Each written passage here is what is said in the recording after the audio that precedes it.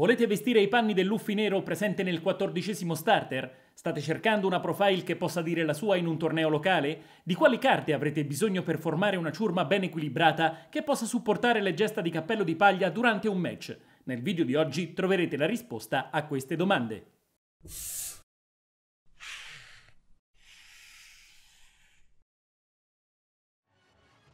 Signori, bentornati sul canale con il nostro consueto appuntamento settimanale. Pochi giorni fa è finalmente giunto sui nostri tavoli da gioco il 3 Days 2 Years che vede l'arrivo anche di una nuova meccanica di gioco che prima d'ora non si era mai vista, l'aumento dei costi dei character alleati. Per scoprire il contenuto del prodotto in questione troverete il video dove ne ho parlato qui. Il deck infatti favorirà sia l'aumento dei costi grazie allo stesso leader e allo stage che vedremo fra poco cosa combineranno assieme e la distruzione dei personaggi rivali attraverso la dinamica comune ad ogni nero presente in meta. Questo Luffy inoltre avrà un effetto simile allo Zoro pubblicato nel primo starter deck della storia del gioco e se si riuscirà a mantenere attiva la condizione del proprio effetto andrà a dar fastidio alle dinamiche strategiche di chi vi giocherà contro. Nel video di oggi perciò andremo ad analizzare le dinamiche che muoveranno questo deck, scoprendo le caratteristiche che lo renderanno interessante nel meta attuale e quali saranno le sinergie che offrirà a tutti coloro che vorranno vestire i panni del personaggio principale dell'opera del maestro Oda. Vuoi dare il via alla tua avventura come collezionista nello sconfinato universo dei TCG ma non sai da dove iniziare? Colleziono da zero è la soluzione che fa per te. Con questa guida dettagliata imparerai non solo a conoscere le basi di questo mondo, ma anche le strategie avanzate per massimizzare il valore della tua raccolta. Che tu sia alle prime armi o un amatore, questo libro sarà la bussola che ti guiderà nello sconfinato universo dei GCC.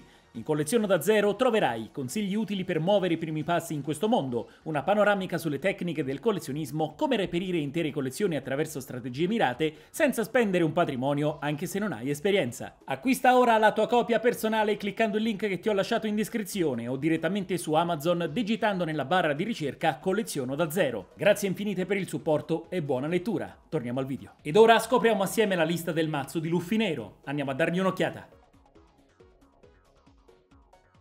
Partiamo dal leader che con i suoi 5.000 punti di forza e 5 vite a supporto vi permetterà, assegnandogli un singolo don, di aumentare di un'unità il costo di ogni personaggio sotto il vostro controllo ed incrementare di ulteriori 1000 punti la sua forza fino alla fine del turno avversario se sarà presente un character alleato con costo pari ad 8 o superiore. La decklist in questione sarà un mix tra le due dinamiche che caratterizzano questo colore e vedrà il quartetto di Rebecca, Brooke, Hina, Perona, Nico Robin, Sabo, Luffy Costo 5, Moria e Sanji, assieme al trio di Tsuru e del Meppo con la singola coppia di Shiraoshi e Luffy Costo 8 per la parte character, il duo di Gangan Diabletry Sword Style, Mountain Jack 600 Pound, Phoenix Cannon per il settore Event e le quattro unità di Thousand Sunny che chiuderanno sia il comparto stage che questa profile. Le carte cardine del mazzo saranno di sicuro le Rebecca per portare di nuovo a disposizione la quasi totalità del deck, i Brook per mettere sempre sotto scacco ogni personaggio avversario, le Nico Robin che risulteranno molto pericolose soprattutto in mid-late game,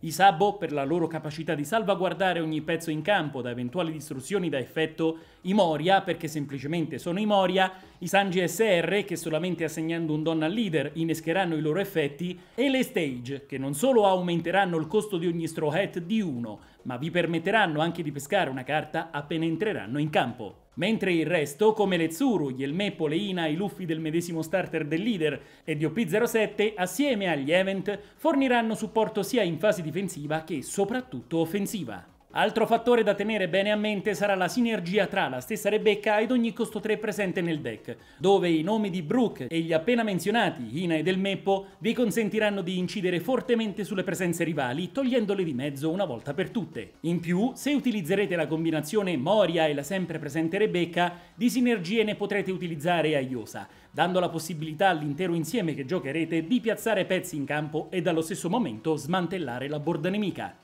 E a proposito di smantellamento, i Luffy di OP07, quando attaccheranno, grazie anche alla manforte dei diversi riduttori presenti nella lista, andranno a togliere di mezzo anche i colossi più ostici, bersagliando con il loro effetto chiunque avrà due come costo di giocata totale. Ultimo, ma non per importanza, vedrà l'utilità della stage, che personalmente reputo una delle più forti attualmente in gioco. Per un semplice motivo, averla in mano non rappresenterà una carta morta, ma una possibilità di pescare una carta aggiuntiva dal deck, e i due event che a costo 2 aumenteranno di ben 3000 punti la potenza di un vostro leader o character durante la fase principale, distruggendo un costo 2 rivale se sarà presente in campo un costo 8 alleato. Quindi, dopo aver visto l'intera lista e alcune dinamiche che la muovono, passiamo ora a qualche strumento utile per conoscere meglio il mazzo, ponendoci come sempre la solita prima domanda. Come funziona questo deck? Ragionate per bene prima di fare ogni mossa. Questo è un mazzo combo e come tale richiederà una serie di passaggi mentali che dovranno essere svolti prima di metterli in pratica. Ricordate che se sbaglierete anche di un solo don il vostro disegno matematico, vi ritroverete all'improvviso dover rincorrere l'avversario,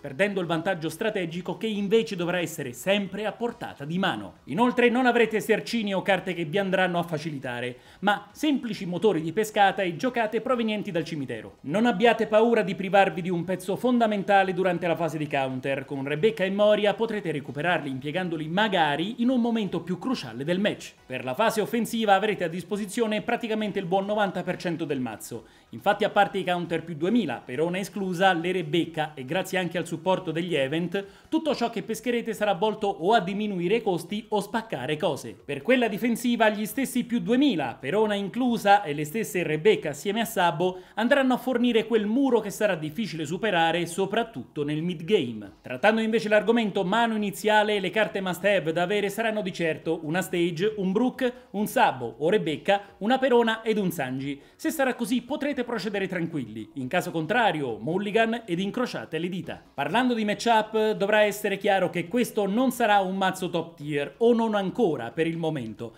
ma non temerà confronti in ogni caso, tenendo conto che grazie alle sue duplici funzioni potrà allo stesso tempo tenere di mira le fila rivali e potenziare le proprie. I più indicano Luffy come l'antinero e devo dire che contro Lucci in particolare dà molto fastidio, dato che per la maggior parte delle volte il membro della CP0 dovrà impiegare un paio di risorse e non più una per toglierci di mezzo dei character. Per tutto il resto ve la giocherete e come sempre soffrirete gli aggro e gli zoo, quindi Low, che fra un po' non sarà più un problema, e ogni tipologia di rosso che partirà forte. Per la win condition dovrete dapprima tenere a bada ogni fonte offensiva avversaria, per poi azionare l'innesco combo del deck, dando la possibilità anche al leader di usufruire appieno del proprio effetto. Una volta che le minacce rivali verranno sventate, potrete volgere lo sguardo verso le vite di chi vi giocherà contro, andando ad erodere passo dopo passo ogni singola risorsa che disporrà nei turni a venire. Procedete con calma, i combo hanno bisogno di tempo, concedeteglielo e vedrete che non ve ne pentirete. Invece le carte obbligatorie che non potrete assolutamente sostituire con nessun altro elemento saranno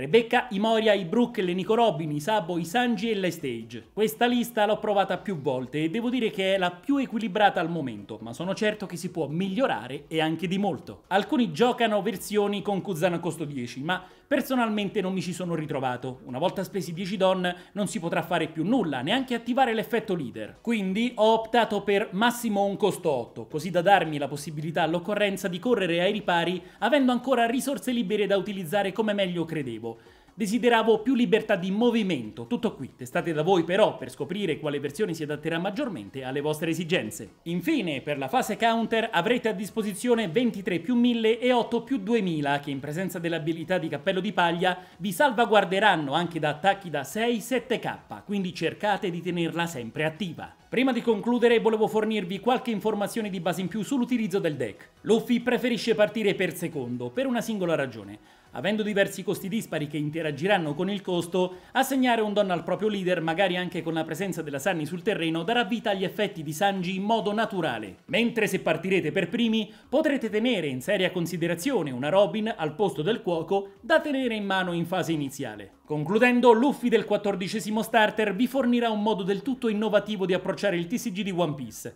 e sono certo che, con il passare dei set futuri, anche questa versione del capitano più celebre dell'intera opera, ideata dal maestro Oda, potrà dire la sua piazzandosi ai piani alti della tier list.